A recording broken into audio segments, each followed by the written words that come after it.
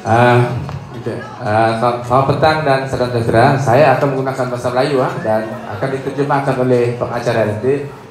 Tuan-tuan dan puan, cuba tuan lihat saya sekarang. Pada ketika ini ramai kawan-kawan saya meletakkan Ya Allah Halik You dah sehat You dah macam dah jadi muda Sebelum ini Saya tegur hati saja Okey tuan-tuan dan puan Saya nak cerita tentang Kehebatan air kangen ya Dan saya telah amalkan air kangen ini Pada bulan Disember tahun 2017 Saya saya adalah pengidap penyakit Uh, lymphoma Hodgkin. Kanser lymphoma Hodgkin itu kanser akan limpa dan rectum. Dua kanser menyerang saya. Dua tahun saya mengalami benda itu. Kemudian uh, apabila saya, tiga bulan saya buat diagnos di hospital umum dan doktor pakar memang mengesahkan saya mengidap lymphoma Hodgkin kanser lymphoma, lymphoma dan juga rectum. Rectum ni saluran jobo tu sempit. Jadi saya telah menjalani dua rawatan. Yang pertama kemoterapi. Kemoterapi saya menjalani rawatan ini selama 9 bulan. 9 month. 11 kali. 2 minggu buat kemoterapi. Memang berat badan saya, petanda awal saya teruk, berat badan saya normal 70 uh, kg. Bila ada selesai kemoterapi 30 kg. Memang kurus. Saya di rumah kalau bangkit bangun ah jatuh. Tidak ada antibody lagi. Memang habis. Saya hanya bersandarkan kepada ubat-ubat hospital. Ubat yang paling efektif yang pihak doktor bagi Napogen. Dan cucuk ke uh, perut. Boleh bertahan 2 minggu. Lepas tu kemo lagi. 11 kali. Tamat bulan 9 tahun 2017. Kemudian selepas itu disusuli dengan rawatan yang kedua paling dahsyat. Radioterapi. Radioterapi saya 20 kali. 20 kali 2 bulan saya, saya buat Radioterapi ini satu keadaan menggunakan kuasa laser Laser kita akan di Dalam malam ini kita akan di laser Jadi uh, Setiap 2 bulan saya akan buat CT scan. Doktor akan tengok Macam mana perkembangannya. Uh, Dan akhirnya saya di, saya diberi pilihan untuk membuat pembedahan. Buat khusus Saya punya rektum itu kena buang dan uh, yang ini dikenali sebagai pembedahan stoma. Stoma uh, apa ni? Pembedahan. Dan kita kena guna bag tu. Jadi mak bapak keluarga saya semua tak setuju saya sendiri pun kata tak setuju saya terkejut. Tiba-tiba doktor kata you mengidap kanser uh, lymphoma dan juga rektum ini tahap 4 mana boleh terima tahap 4 tau. Kecewa. Memang saya rasa ya bulan 11 tiba-tiba Cik Asnani melalui Cik terima kasihlah kepada Cik Andrew dan juga Cik Kenneth. Dia memperkenalkan kangen water air air kangen itu ini yang saya amalkan. Sampai sekarang dan bila apabila kita di, di uh, membuat rawatan di hospital umum tuan-tuan akan diikat 5 tahun no. hospital tidak akan lepas dia akan buat pemantauan observation 2 bulan sekali sekarang dah 3 bulan dia buat saya akan saya akan dirujuk tiga tempat. Yang pertama uh, bahagian kemoterapi. Saya kenal dengan doktor pakarnya, doktor saya terima kenal. Yang kedua uh, radioterapi. Uh, doktor saya lupa namanya, Chinese ha? Dan yang ketiga pakar saja, klinik pakar pintu S tu. Tiga tempat ni saya akan pergi. Dan ketiga-tiga doktor ni mesti rujuk kepada pakar saja. Pakar saja ni tak ada lain resolusi dia. Keputusan bedah, bedah, bedah, bedah. Tak ada benda lain.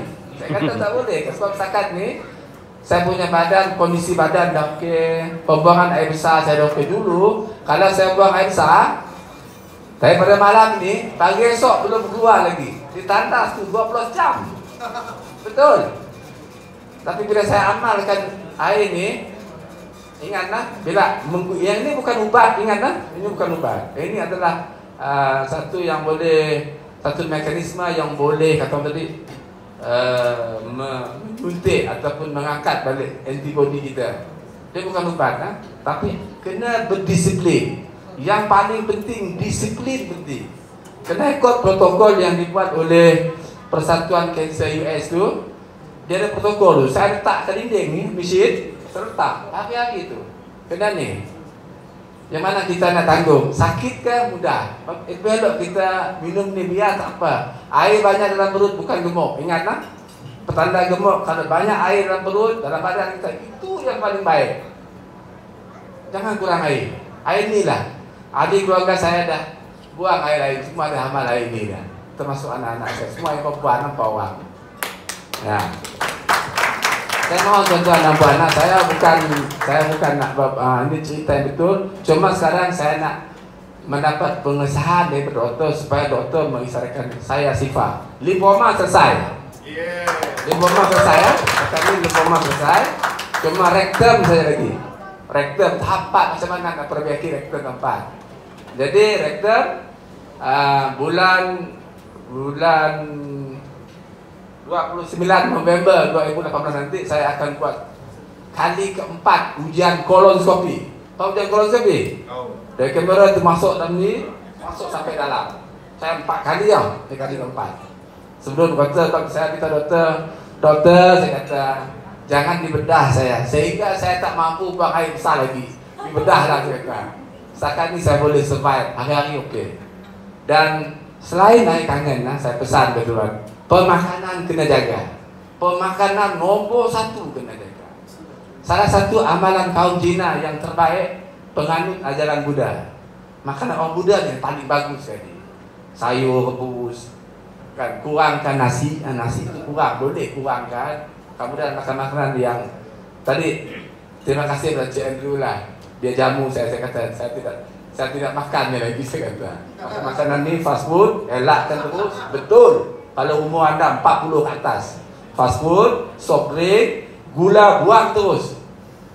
Gula buang. Gula pasir tu Ganti dengan benda lain lah Teh, harba dan sebagainya. Makanan paling penting kan? Dan Dan Tidaklah diseimbangkan dengan ni. Ini wajib Hari-hari kena ikut Dan Saya sakat ini Saya beli mesin yang dalam harga RM10,000 itu saya banyak serkahkan air ini kepada orang kampung. Kalau ada yang pergi hospital, saya pergi hospital bawa, bawa satu galen. Bagi, Alhamdulillah bagus. Yang penyakit yang tuan yang pertama tadi dia gastrik mudah tu. Dia belum kena kanser lagi. Betul. Gastrik, gaut, kencing manis, ini memang benar-benar efektif. 10 orang kawan saya guna ni. Kencing manis. Selesai. Dia sendiri terkejut. Cuma dia tak mampu beli mesin itu saja. Saya kata ya alhamdulillah. Tak apalah. Dan yang paling penting saya menggunakan konsep serkah. Kita jangan loket air ni kita serkah. Serkah inilah ubat yang paling bagus untuk kita. Sembuh balik. Orang atas tolong kita kalau kita serkah Ha, ini pengalaman saya tuan-tuan dan dan saya harap tuan-tuan yang depan ni bukan saya nak promote tidak ah. Saya tidak bisnes saya ini. Saya hanya berkongsi didapatkan pada auditor. Saya hanya tunggu masa Doktor kata Halik You sah bebas kanser Itu yang saya nak tunggu lagi. Setakat ni Rizal Alhamdulillah bagus. Konsisten. Saya boleh survive. Tengok keadaan saya sekarang. Saya boleh berlari. Sebelum ni tak boleh Jadi saya dalam hal ini Saya mengucapkan terima kasih kepada Cik Andrew Cik Kenneth Dan juga bos saya Puan Nancy Wong Dia yang memperkenalkan ni dia telefon saya, Halik, you kena beli air ni, you kena aman ni. Memang betul. Sebab saya percaya. Saya amal-amal okay. dan sekarang Alhamdulillah. Dan saya harap, saya berdoa lah. Semoga Tuhan banyakkan umur lagi. Mana-mana yang mudah kanser, jangan putus asa. Jangan putus asa. Cari jalan. Berusaha. Jaga makan dan sebagainya. Sekian, terima kasih. Dan terima kasih. Thank you.